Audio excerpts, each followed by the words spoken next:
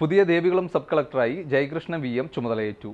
രാഹുൽ കൃഷ്ണ ശർമ്മ സ്ഥലം മാറിയ ഒഴിവിലേക്കാണ് നിയമനം.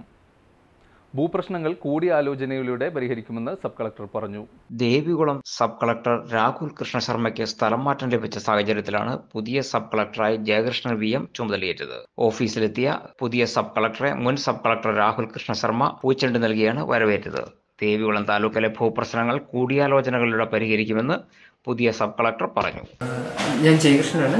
രണ്ടായിരത്തി ഇരുപത്തൊന്ന് ബാച്ച് ഐ എസ് ഓഫീസറാണ് എന്റെ ഫസ്റ്റ് ഇൻഡിപെൻഡന്റ് പോസ്റ്റിംഗ് ആണ്. ഇതിന് മുന്നേ എന്റെ ട്രെയിനിങ് തൃശ്ശൂർ ജില്ലയിലായിരുന്നു അസിസ്റ്റന്റ് കളക്ടറായിട്ട് അതിനുശേഷം സെൻട്രൽ മിനിസ്ട്രിയിൽ ഹോം മിനിസ്ട്രിയിൽ അസിസ്റ്റന്റ് സെക്രട്ടറി ആയിട്ട് രണ്ട് വർഷം രണ്ട് മാസം വർക്ക് ചെയ്തിരുന്നു.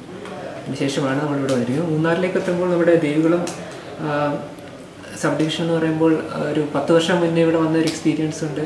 ഒരു രണ്ട് വർഷം മുന്നേയും കഴിഞ്ഞ ഒരു വർഷം മുന്നേയും ഇവിടെ എത്തിയ എക്സ്പീരിയൻസ് ഉണ്ട്. അപ്പോൾ പല ഘട്ടങ്ങളിലായിട്ടും മൂന്നാറിന്റെയും ദേവികുളത്തിന്റെയും പല സ്ഥിതികൾ നമ്മൾ കാണാൻ സാധിച്ചിട്ടുണ്ട്. അപ്പോൾ പത്ത് വർഷം മുന്നേ കണ്ട ദേവികുളവും മൂന്നാറും അല്ല ഇപ്പോൾ കാണുന്നത്. അപ്പോൾ ഇവിടെ മുൻപുണ്ടായിരുന്ന സബ് കളക്ടറുമായിട്ട് ഇവിടുത്തെ കാര്യങ്ങളെല്ലാം പഠിച്ചു വരികയാണ്. അപ്പോൾ അതിനുശേഷം ഇവിടുത്തെ ജനങ്ങൾക്ക് എന്താണ് അവരുടെ ആവശ്യമെന്ന് അറിഞ്ഞ് അറിഞ്ഞിട്ട് അതിനനുസരിച്ചിട്ടുള്ള തീരുമാനങ്ങളും കാര്യങ്ങളായിട്ടായിരിക്കും മുന്നോട്ട് പോകുന്നത്. രണ്ടായിരത്തി ഇരുപത്തിയൊന്ന് ഇരുപത്തിരണ്ട് ബാച്ചിലെ അംഗമാണ് ജയകൃഷ്ണൻ. തൃശൂരിൽ അസിസ്റ്റന്റ് കളക്ടർ ട്രെയിനിയായി സേവനമനുഷ്ഠിച്ചു. തുടർന്ന് തിരുവനന്തപുരത്തും സേവനമനുഷ്ഠിച്ച ശേഷമാണ് സബ് കളക്ടർ തസ്തികയിലേക്ക് എത്തുന്നത്. ദേവികുളം മുൻ സബ് കളക്ടർ രാഹുൽ കൃഷ്ണ ശർമ്മയ്ക്ക് പുതിയ തസ്തിക ഇതുവരെ നൽകിയിട്ടില്ല. എന്റെ കാഴ്ചയ്ക്ക് ചില ബുദ്ധിമുട്ടുകൾ അനുഭവപ്പെടാൻ തുടങ്ങിയത് ഈയിടെയാ.